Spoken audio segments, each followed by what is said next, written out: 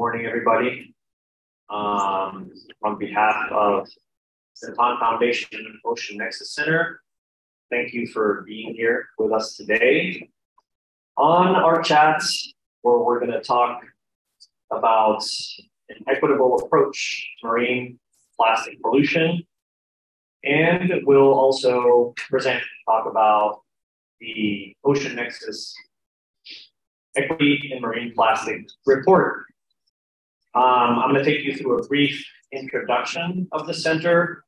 Um, and then we are going to patch in some of our panelists or speakers today uh, to talk about the intellectual foundation of the center, provide a brief overview of the report, and then we're going to talk about two perspectives or local examples of marine plastic pollution at different scales. Uh, my name is Ricardo Ycaza. I'm going to be moderating today. I'm on the Foundation Ocean Nexus Fellow based out of Oregon State University. Later on, you'll hear from Dr. Yoshitaka Ota, the Nippon Foundation's Ocean Nexus Center Director. Later on, Dr. Jessica Vandenberg is going to give you a brief overview of the Marine Plastic Pollution Report, also a Nexus Fellow, followed by Dr. Cinda Scott, another fellow with us, and also the director of the School for Field Studies at Bocas del Toro, Panama. And uh, finally, we will hear from Dr. Masanori Kobayashi, Senior Research Fellow from the Ocean Policy and Research Institute of the Sasakawa Peace Foundation in Japan. Um, if you haven't seen our report, you can quickly uh, scan that QR code right now. If not, we'll make it available later on for everybody. Um, so we can move on. Yeah, we can skip the slide, please. So at Ocean Nexus, our mission is to establish social equity at the center of ocean governance. Our members are over 100 diverse group of international interdisciplinary scholars and practitioners. We function on an annual budget of $3.2 million under a 10-year commitment of the Nippon Foundation. Our program office is based out of the University of Washington at the Nippon Foundation Ocean Nexus Center, and our partners include over 30 universities, civil society groups, and our deputy directors and chair professors are with partner institutes, including Simon Fraser University, Dalhousie University, University of Victoria, Edinburgh University, and the Australian National Centre for Ocean Resources and Security, among others. Nexus currently has 57 ongoing projects, 13 in development, and we've completed 44. These projects are in a range of research topics, including the impacts and risks of marine interventions, seafood sovereignty, equity and justice in the blue economy, coastal community well-being, and trapped transboundary fisheries management. Nexus functions under four ocean equity principles. First, that we must recognize injustice and inequity that are central to current ocean issues through rigorous analyses and critical inquiries. We must recover people who are confronted with harm and failures of ocean governance structures and social systems by providing concrete courses of action. We must resist engagement with narratives that do not explicitly confront inequities. And we must reverse the systems that perpetuate inequality and injustice by supporting disruptive actions and promoting shared leadership and networks.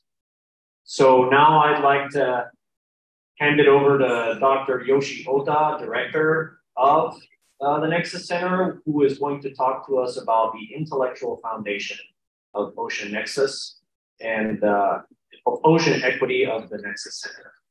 Please, Yoshi. Thanks. Thank you very much, Ricardo. Can everybody hear me okay? Yes, Yoshi. Okay, thank you.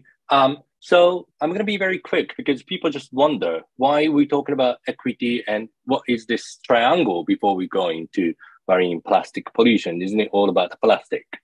So this is really the way we actually treat or address the plastic plastic issues. um, we understand there's inequity exists both in society and in ocean as an extension of the society. And then we now seeking for equitable ocean policy, which basically means let's really consider the people who will be most affected by this enormous environmental change on a global scale, which is climate change, obviously. And then also pollution such as plastic. And we must not forget uh, new findings, uh, horrible stories about the PFAS and other uh, pollutants. And what we really thought about is, okay, what do we mean by equity? And people trying to seek for the equitable approach. Shall we just take the equitable approach, stakeholder engagement, participation, and so on and so forth? But our approach is slightly, or actually very different. We consider what we need to do is to dismantle inequity and inequity we see in society and also ocean governance. Um, so those inequities are something really difficult to talk about, such as racism, such as colonialism, such as misogyny and the intersectional discrimination. This is something we actually not accustomed to talk about in ocean governance or let's say marine conservation or any of the, the marine and coastal management conversations. And people might say, well, I don't really want to talk about this. This is exactly the reason why I'm doing ocean, staying away from all this. But unfortunately, this is what it is. And this is what ocean governance needs to tackle and this is what it takes to make equitable approach or equitable ocean policy. So same thing with marine plastic pollution. We really need to consider about how we can actually dismantle inequity that we see in the marine pollution, marine plastic pollution, and therefore the policy must address and think about anti-inequity approach. I actually first got to discuss about marine plastic pollution with Nippon Foundation um, almost three and a half years ago. The issue of the marine plastic pollution was huge, and there was just talk about this myth of huge garbage patch and island of the garbage or plastic in the middle of the oceans, or um, we could actually create the bacteria who eats the marine plastic and then we can solve everything. Or perhaps we could actually consider new materials instead of um, um, using the plastic, which we could really just um, use it as a biodegradable. Those are actually, to some extent, it's true, but at the same time, for the sheer amount of the issues that we face, and we face it not middle of the ocean so far from us, but we face it right here on the land and right here on the coast, right here next to the river and upstreams. And it's just a fill of the plastics and then full of those rubbish and people actually being deprived from their traditionally on the land, their livelihood. And unfortunately, the burden actually goes to the most vulnerable population in society. I do actually know one of our colleagues actually created a documentary on the kids who are picking up marine plastic rubbish next to um, tourist village um, and for three cents an hour. So that's the reality, and that's what it is. And we really have to think about how we're going to tackle with the issue, not just up somewhere, but really to address the issues on the ground. So this is the start of the marine plastic pollution project. Me and a bunch of wonderful social and natural scientists to work on this to see the impact of this marine plastic pollution and what it is that reality going on the ground. Impact is not some numbers up there. It's actually what people feel and face every day. And this is what's most important. It matters most in the ocean policies um, solutions when we design it. And also, okay, so what's the approach we should take? So that's what the central theme of the report. And now I'm going to pass it to Dr. Jessica Vandenberg, first author of this report. Uh, it's been wonderful colleague of mine and really leading together with me um, for this project for the last two years. Um, the report has just been out there a couple of months ago and anybody can download it and we can have a look at it. And we are, um, if there's any question, we're happy to take it. So now I'm gonna uh, pass it to Dr. Vandenberg. Thank you, Jess. Thanks, uh, Yoshi. Um, so, Dr. Vandenberg, Jess, uh, take it away and uh, talk to us about the report and an equitable approach to marine plastic pollution. Sure, yeah.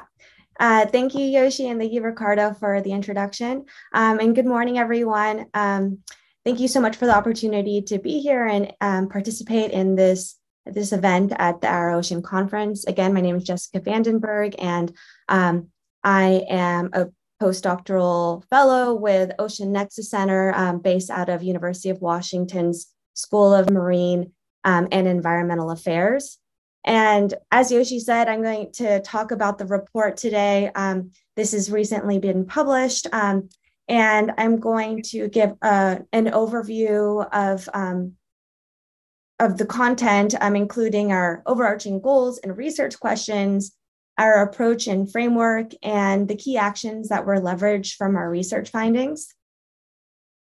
So um, this report is the result of original research carried out through collaboration with a diverse group of international interdisciplinary scholars and practitioners whose work center around equity and justice. And the project, um, like most of Ocean Nexus work, was funded through the Nippon Foundation um, and led by myself and Dr. Yoshi Ota uh, with the support of our amazing production team. Um, and I also just want to uh, recognize um, all of our contributing authors whose work are the foundation of our report. Um, and we're extremely grateful for all of their insightful contributions. Okay, so getting into the content, um, it's well recognized that marine plastic pollution is a global problem, yet it is less recognized that the burden of this issue is inequitably experienced marine plastics disproportionately impact coastal and island communities and communities that are highly dependent on marine resources for nutrition and their livelihoods. Uh, moreover, current governance solutions can perpetuate inequitable burdens due to their failures to consider the complexity and diversity of human plastic entanglements and the broader plastics life cycle. So, the overall goal of this report um, was to unpack this equity problem. We wanted to further understand the impacts of marine plastic pollution and how they are inequitably experienced, how governance and management addresses or exacerbates inequitable impacts, and finally, how do we translate these findings into actionable items that contribute to socially equitable approaches for addressing marine plastic pollution? So first, I want to address how we're approaching the concept of equity. As Yoshi mentioned, um, we have this intellectual foundation, this triangle of um, sort of, of all the um, the areas that we really want to ensure that we're highlighting of injustice and inequities. Um, but we also recognize that in governance and decision making, um, equity is often considered within these four domains of distributional, procedural, recognitional, and cultural and contextual equity, uh, where distributional refers to the distribution of costs, benefits, rights, responsibilities across groups and individual actors. Procedural equity refers to who is involved and included in decision making processes. Recognitional equity refers to the acknowledgement, respect, and integration of diverse knowledge systems, values, social norms, and rights. And finally, control, cultural and contextual equity refers to uh, the meaningful consideration of the social, governance, economic, historical, and cultural context in which governance processes are situated. So this framework, this was the basis of how we approach equity in the report, but we also acknowledge that equity issues are complex, they're diverse, and it can extend beyond and overlap between these categorical domains.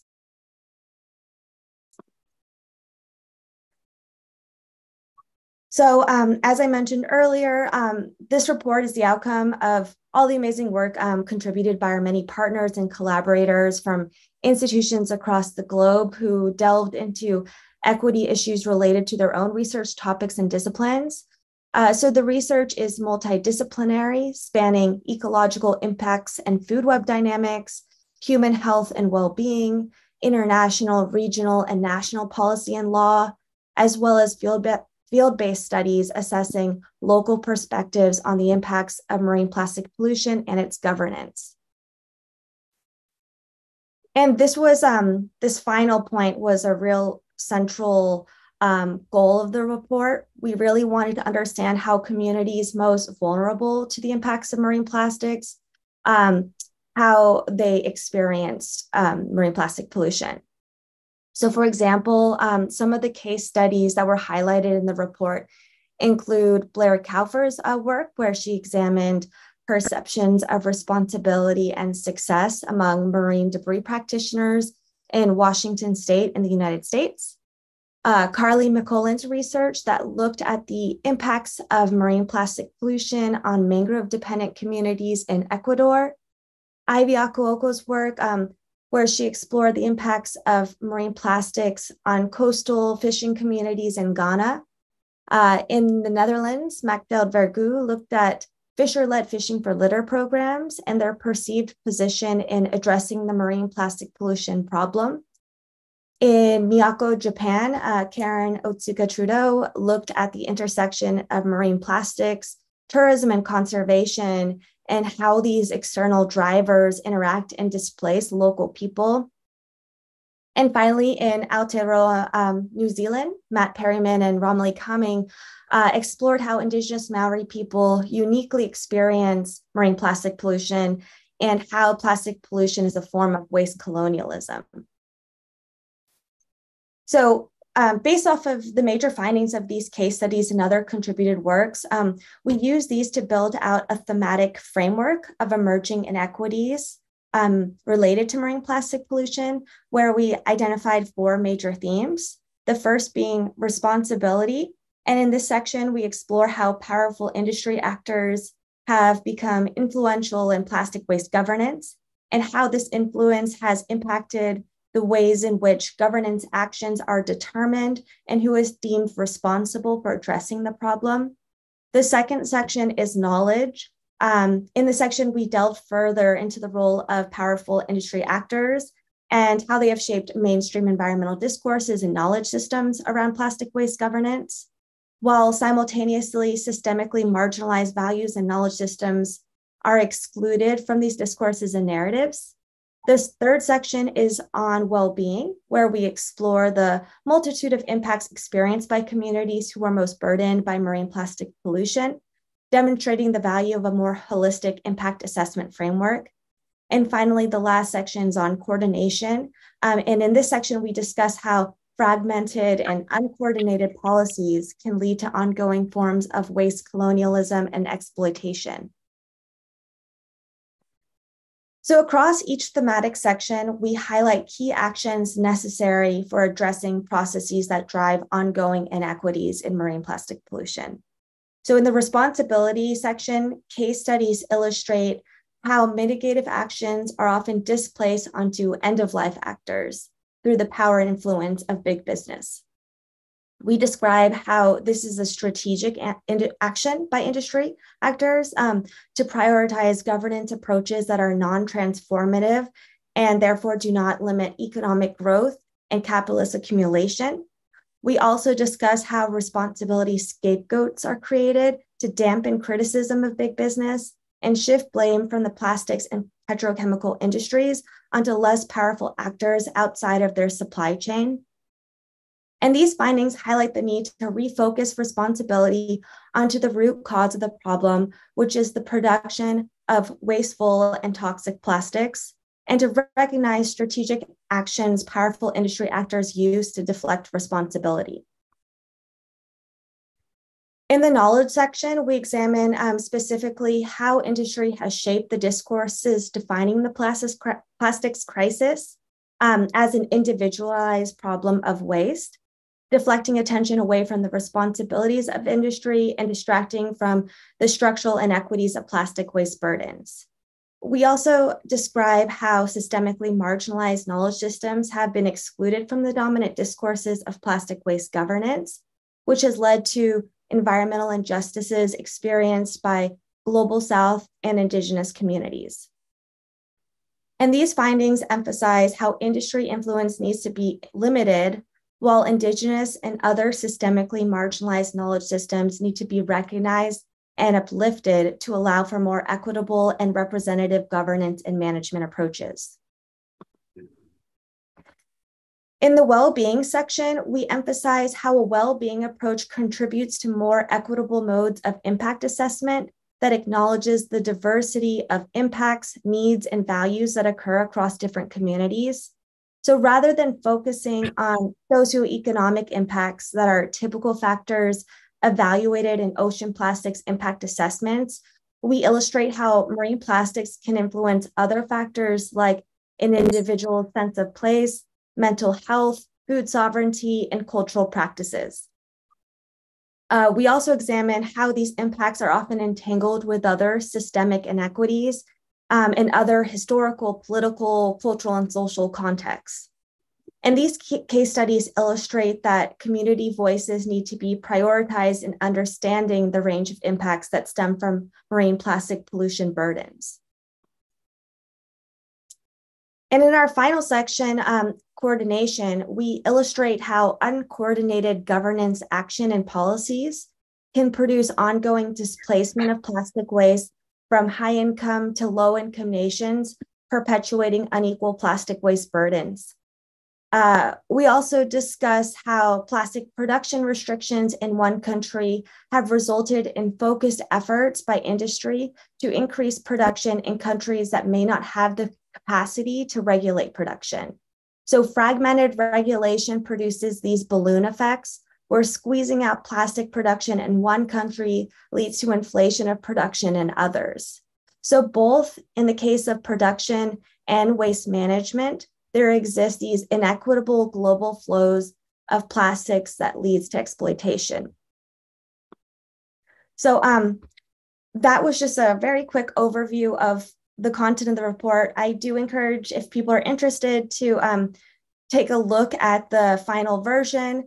Um, and also, we're going to extended versions of all the case studies that are part of this report um, are going to be published in a forthcoming issue of Marine Policy on equity and justice in marine plastic pollution.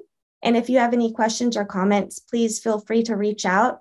Um, and now I'm going to hand it back off to Yoshi, who's going to briefly touch on how we're leveraging the findings from this report to develop a roadmap on equitable governance approaches. Thank you. Thank you, Jess, for the comprehensive explanation about, about report. Um, it's so report itself is really to describe what the impact is and what are our considerations from critical perspectives. And we thought people are probably start talking about like, okay, it all sounds interesting, but how are we going to approach it? So we first uh, take a step and uh, gather uh, 20 colleagues uh, coming from NGOs, um, IGOs, and uh, diverse geography and expertise, and um, did uh, roadmap exercise, uh, which took us about like six months. Uh, we are finalizing the roadmap and it will actually come out in about a couple of months. So please do stay tuned. But we like to continue this effort of the roadmap. And if anybody is interested in, and we are hoping to recruit more people and keep working on this roadmap uh, this year, perhaps later. Um, so thank you very much and stay tuned. And I also like to thank our moderator, Ricardo, who's doing a great job. So I'm passing back to Ricardo. Thank you, Jess. Back to you, Ricardo. Thank you, Yoshi, for appreciating the moderation. Uh, and thank you, Jess, for uh, your brief explanation of the report. Um, I was going to open it up for questions now, but I'd like to hold those till the end so we can also give our other speakers an opportunity to speak. And then at the end, you know, if you'd like to address any questions to them, we can do that too. Um, so we're going to go to some slides now for Dr. Cinda Scott's uh, chat We'll come back to the QR code afterwards. So if any of you would like to download or check out that report, you can do so. Um, and Cinda is going to talk to us about experiences and perspectives with marine plastic pollutions in Bocas del Toro, which is right here in Panama. So it's more of a local perspective. Um, Cinda. Thank you. Thank you very much. It's a pleasure to be here today. And I just want to state before I begin, uh, I have lived and worked in Bocas del Toro for the past nine years almost. Um, I am not from Bocas del Toro, so my perspectives, um, I hope you can appreciate that as someone who does not um, come from there originally, that um, these are perspectives that I have as a person from the United States living and working there. And uh, I just wanted to, to state that. And yeah, so here's the first slide. So um, the issue in Bocas del Toro, uh, I'm going to frame this with challenges, findings, and equity implications as it is outlined in the um, report that has recently been published. And um, I just give congratulations to everyone who has worked so hard to bring this out for publication because I think it's really important. While it's not my area of expertise, I have seen locally um, what is happening on the ground with waste and waste management in the region. So the challenge um, is definitely uh, rooted in tourism. And when you think about tourism, that too, in many cases, is rooted in coloniality. And that's something that is not often talked about, particularly as it relates to waste. So um, I think there is great demand for Bocas del Toro. Um, it is, and you can go to the next slide. Okay. But that's okay. Yeah. So there's great demand to go to Bocas, right? It's a paradise.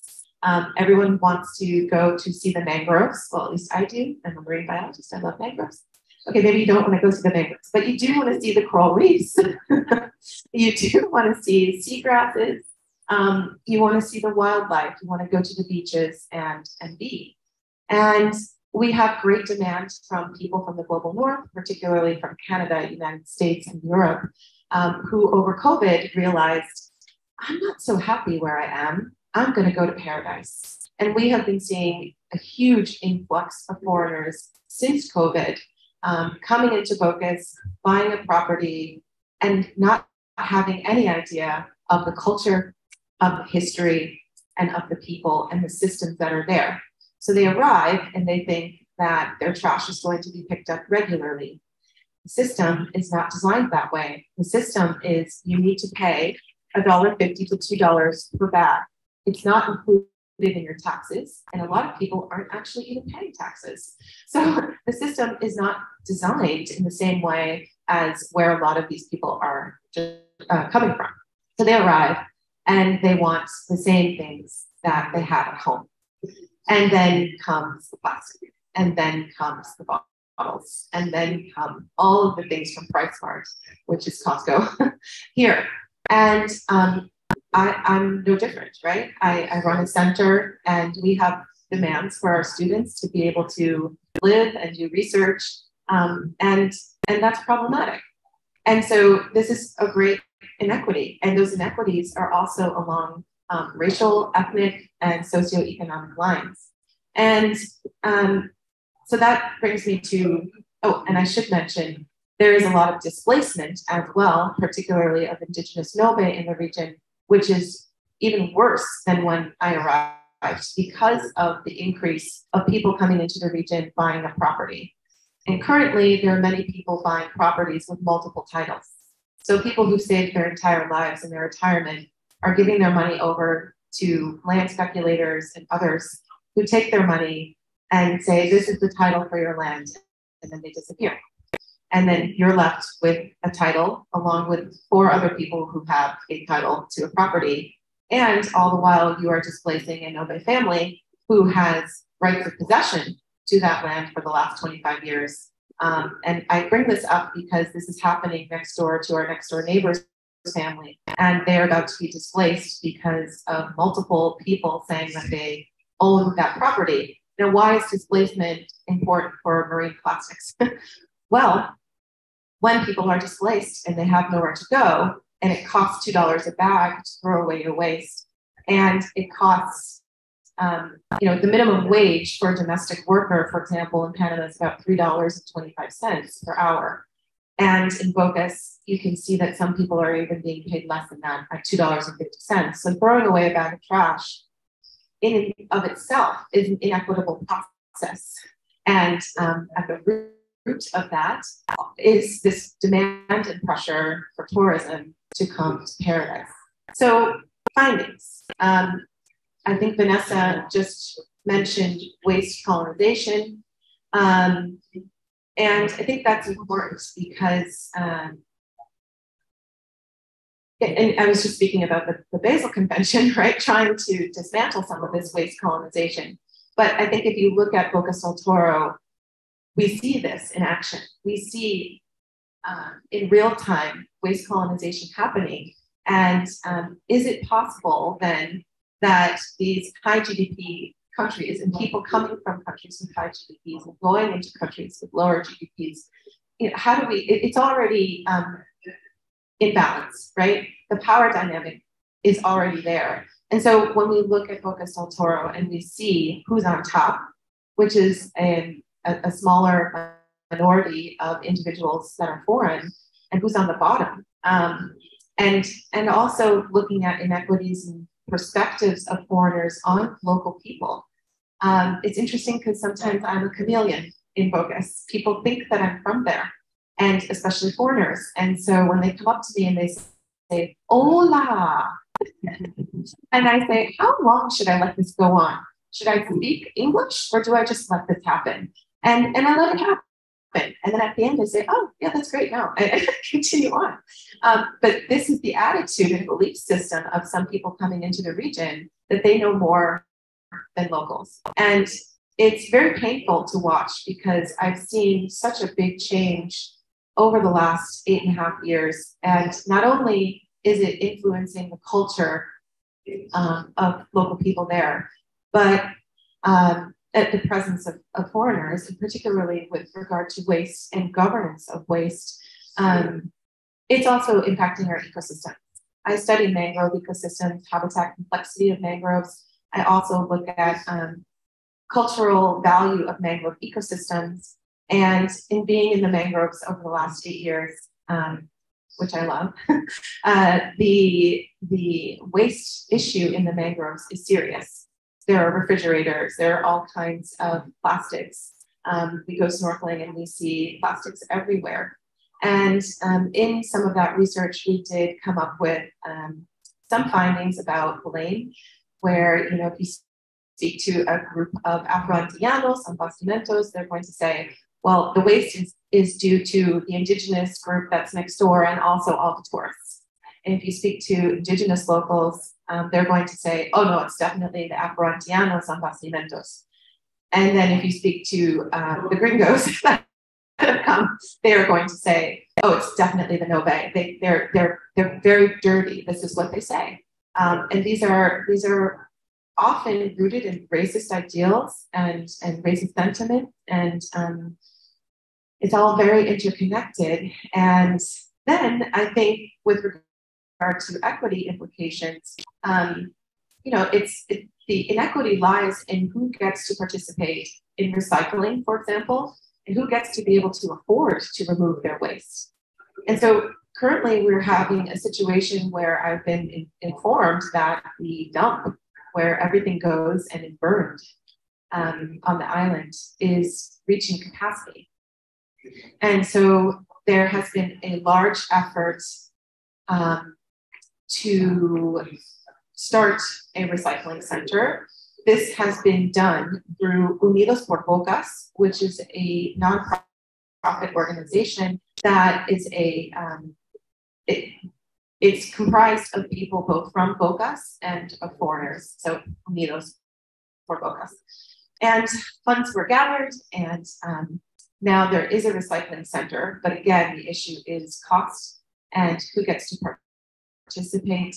And I will leave it there because I am told that I can't speak anymore. But but I, I, appreciate the time and um, really a lot of times in Bocas people will say, ah, pero es nuestra cultura. It's our culture. It's it's ingrained in us. We we don't know why we throw it on the ground, but we do. And I beg to differ. I, I really do think that this is a, also a governance issue. and that um, we really do need to start looking at production and on a small island, understanding um, the ways in which plastics arrive to the island and refusing.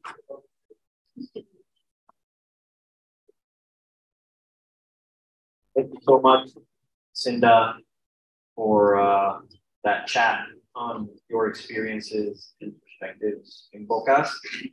Um, so now I'm going to hand out the mic to Dr. Kobayashi, who's going to talk to us about their perspective and their experiences in Japan. Um, sorry.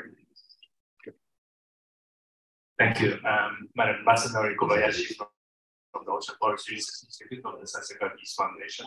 I'd like to thank uh, Ricardo and also congratulate uh, Ricardo Yoshi and uh, all the colleagues who have produced a very inspiring reports to address these inequity issues in the waste and the marine plastic uh, issues. Uh, from our uh, research work that we do in Japan and overseas, particularly Asia Pacific, we also see these uh, inequity issues uh, with relation with uh, oceans. But uh, just uh, her talks reminds me that one day I live close to the beach and walking, and one lady walking the dog was also carrying like a bag, and she said collecting waste while she's also walking a dog. Um, another group of colleagues doing jogging but uh, not just doing jogging, but they also pick the waste, and it's like a combination of picking waste and exercise that are part of uh, kind of newly uh, emerging trend in Japan as well. So there are a one group of people who are very conscious about this marine plastic issues. But on the other hand, there's another group of people who do not really care. And in the summertime, when we go to the beach, there are tons the waste just discarded. They had a barbecue, they had the picnics, and they don't, like a local authority, they don't um, put the waste beach any longer, encouraging beachgoers to take the waste back home. But not many people actually do. So there are lots of uh, tons of waste uh, just uh, left on the beach. So now another group of people get together and started uh, like uh, uh, some uh, services, they receive the waste uh, with small uh, fees like three dollars, five dollars. They can uh, dispose the waste uh, for the beach goers uh, in exchange of some money. So there are new trends, but I could say that, that there is still some legal policy and institutional discrepancy that still tolerate this kind of inequity uh, we haven't uh, banned the use of single-use uh, shopping bags in supermarket. So I, I also sometimes forget to take it, but uh, when I was having this uh, bag, the gentleman in front of me um, was just asked if he need a bag. And he said yes. It was just 20 cents 30 cents. It doesn't really have much incentives for the people to change their behaviors. So this uh, uh, economic incentives and disincentives to change the people's behaviors are not really enough or haven't really come to the stage to see uh, actual changes or difference in the uh, consumer's behavior.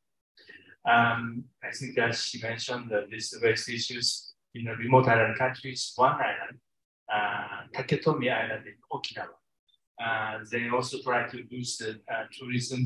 So one time that they did uh, ecotourism, mangrove, sea kayaking, and they saw an increase in the tourist business.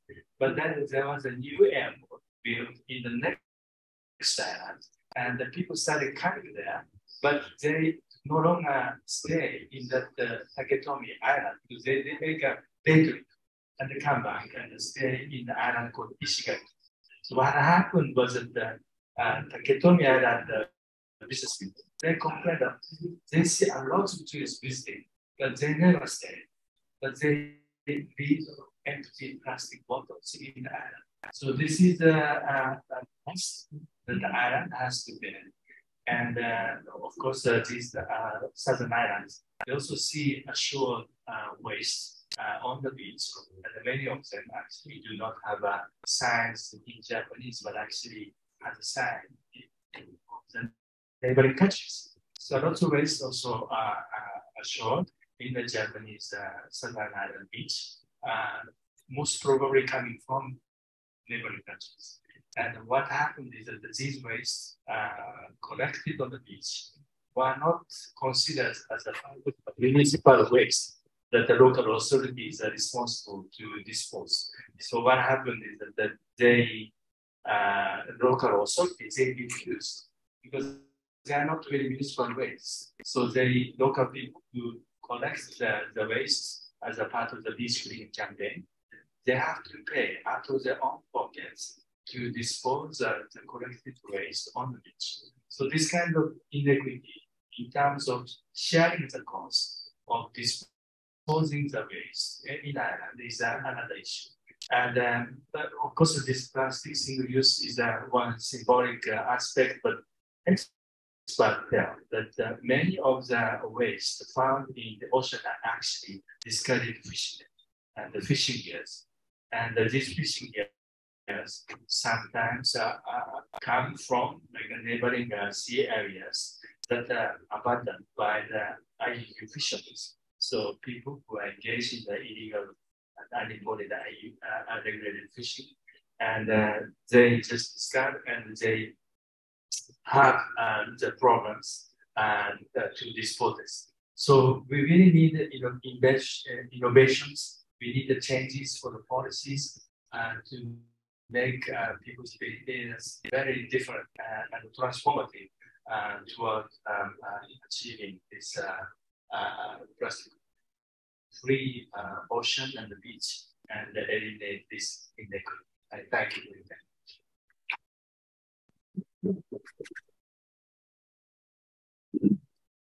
Thank you, Masanori, for sharing that with us. Um, so I, before we take some questions and close, I want to very, very briefly hand it over to Yoshi once more and uh, so take it away, Yoshi, please. Thank you very much. So um, I just wanted to just, you know, wrap it up. Um, thank you very much, Cinda. Thank you very much, Masanori. There's two things I want to really emphasize. One is, as we said, this is not matter of the changing consumers' behavior at all.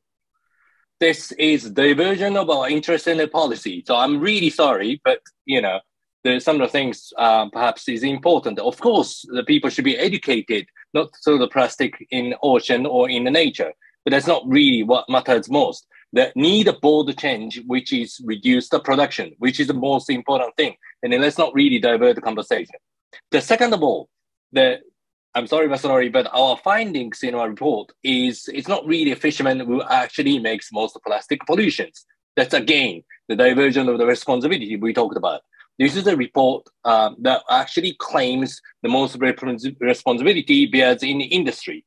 And then that's our findings. And then that's pretty much what the data actually calls us. So I have to say, those are very important issue. Of course, there is a discard gears and everything in the fisheries, uh, which we need to address. Of course, there is a consumer behavior change we need to address. But the main change for the plastic pollution that we really need is to reduce the production. There's nothing else we could do.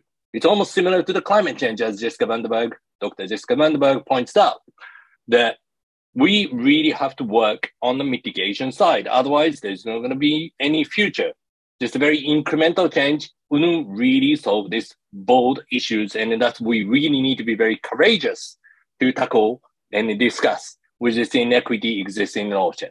So I'll pass it back to you, Ricardo, and thank you very much for our speakers.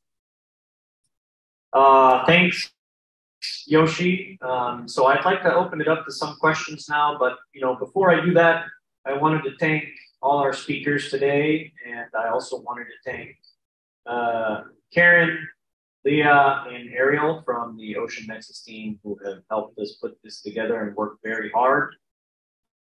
And uh, so if anybody has any questions, you know, we have room for about one or two. Um, yeah, please, let me hand you over the mic. Um, Antoinette Vermilye from the Gallifrey Free Foundation. Um, first of all, thank you so much for this really timely and very, very important report.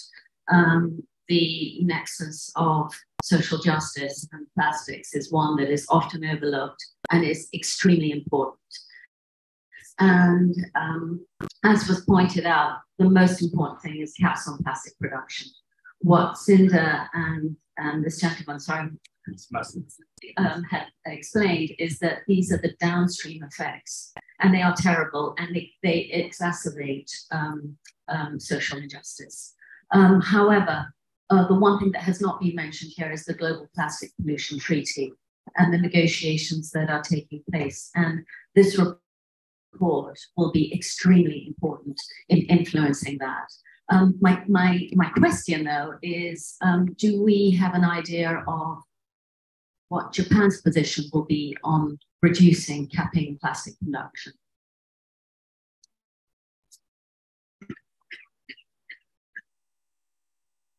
Can you state who you're addressing? Sorry. Um, um, I suppose to either Jessica or Yoshiza. So, Jess, Yoshi, uh, did you hear that question? Yes, we did. So, Jess, uh, perhaps we have a Karina Oscar who's uh, also of the Miyakojima case, and, and that was her fieldwork thesis, could potentially talk about it. But um, we are not perfectly sure about where their standpoint is. Oh, there you go. You're back. We lost you there you're, you're back. Oh, really? Oh. Yes, yes, go ahead. Go ahead. Go ahead.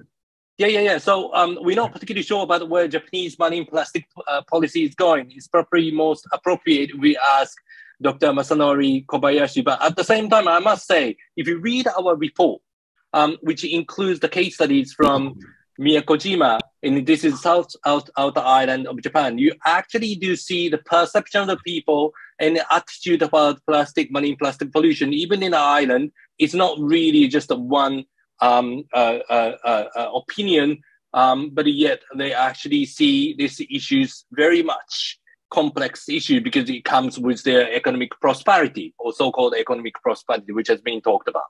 So I believe in Japan, a lot of talk is how much of a leaner do we have to be? How much of an economic production we uh, economic benefit we have to keep, and how are we going to do it with marine plastic pollution? And unfortunately, I do not really see the change um, of the focus going into the production at all. I really do still see the change is still focusing on the consumer, focusing on the end users, focusing on the beach cleanings, focusing on um, perhaps corporate social responsibility, which unfortunately haven't really worked. So I really think the the same as everywhere else, the Japan also needs to just take a further step to consider this is not the technological or solutions, but or consumer behavioral change, but they really need to start talking with the production reduction, which I haven't really seen it much or at all, I have to say. Thank you, uh, Yoshi. I think we're going to take one more question, and we have someone online. It's uh, Audrey. Please, Audrey, if you could state your question so everyone can hear it. Thank you. Hello, everyone. Can you hear me? Yes. Yeah. So my name is Audrey Chunzi. I am um, the fisheries and aquaculture expert supporting IFAD project under the oversight of uh, Richard Abila, who is the senior fisheries officer in IFAD. I'm really happy to join this uh, really interesting conversation. And um, I would like to ask um, this question. We all know that marine plastic pollution is a big problem, not just in the ocean, but also at the landing site and villages along the coastal zone. Here in IFAD, we have um, some of our IFAD projects and coastal project, and we are exploring opportunities to, especially uh, for the youth, to participate in sorry this this problem of, of marine uh, plastic uh, pollution. And one of the activity that tops in that top in our mind is engaging the youth in plastic uh, waste recycling. So we will be interested to hear from the panelists and the audience on some of the successful experiences with this approach of youth engaged in waste recycling. And uh, we all know that this involves a lot of public uh, good dimension.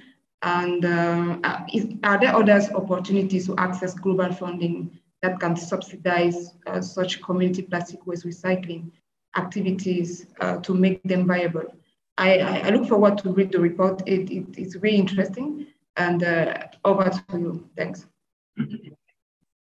Uh, go, go ahead, Yoshi. I saw you uh, raise your hand there. Yeah, yeah, yeah, yeah. Thank you so much. This is just extremely important for us to involve the youth. And and unfortunately, you know, my attitude towards involving youth is not really to educate them. It's not really to teach them. They know. I mean, mm-hmm. especially if they're working and living close to the coast. I mean, they've seen it. It's just plastic everywhere. So what I'm trying to do is hoping to tell them, okay, it shouldn't be your responsibility. It should somebody else's responsibility, responsibility, and you should raise your voice. And that's what's most important for us. And what's most important for me is also through this report um, there is uh, in this report there is a bunch of people in Washington Coast, which is Seattle, United States, quite affluent place. They do beach cleanings, and then those are retired, uh, uh, wonderful people. They do that, and they are actually saying in our report, we're just tired of it. We just keep on picking up every week, every month for the last God knows so many years, just still picking up all the time, and we don't really see the end of it and then they feel very mm-hmm. responsible. They have to pass this ocean to the youth. And they're really hoping that they're going to create the trigger for everybody to raise a voice, especially not youth. We must not pass the responsibility to youth and then saying something like, okay, there is a hope in the next generation. There is no hope for what we are actually doing and what we're we going for. We have to be bold and be honest because that's our responsibility to the youth. So I admire what you're doing, and I'm very happy. I've been giving a talk everywhere to give a talk to your youth or you know record something and then send it to you. We got to tell them it's not your responsibility. Your responsibility is learn and raise the voice and be critical about it. So that's what it is. Uh, I don't know much about the funding, but maybe you can just ask those people in, in the meetings. But thank you so much for coming in, and I really admire your work it's through these experience of recycling, people do understand we got to do something about this non-ending exercise. I think that's most important. Thank you so much. Thank you. Uh, great. Thank you, uh, Yoshi, and thank you, Audrey, for a great question. Um, so I guess we'll close now. Um, not before I also thank Andres Cisneros Montemayor, who's our photo person, also yes. Zoom assistant, but also Ocean Nexus's deputy director. um, yeah. Um, and I'll leave you with just one very brief message. And I would say that one very important step to begin to solve the problem is to acknowledge that it exists. So, you know, if you want to include any of the topics that we've talked about here today in your everyday work, or you know within spaces like this conference. And uh, feel free to reach out to Nexus, Andres, myself, Yoshi, Jess, or any of our speakers today, and uh, we'd be glad to chat. And thanks to everybody that's online and connected with us today. And thanks for our colleagues who woke up real early in the Pacific Northwest. Thank you very much. And uh, we'll chat later. Thank you. Thanks everybody that was here today.